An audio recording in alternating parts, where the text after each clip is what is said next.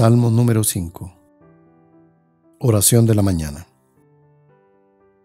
Señor, escucha mis palabras, atiende a mis gemidos, haz caso de mis gritos de auxilio, Rey mío y Dios mío. A ti te suplico, Señor, por la mañana escucharás mi voz. Por la mañana te expongo mi causa y me quedo aguardando. Tú no eres un Dios que ame la maldad, ni el malvado es tu huésped, ni el arrogante se mantiene en tu presencia. Detestas a los malhechores, destruyes a los mentirosos, al hombre sanguinario y traicionero lo aborrece el Señor.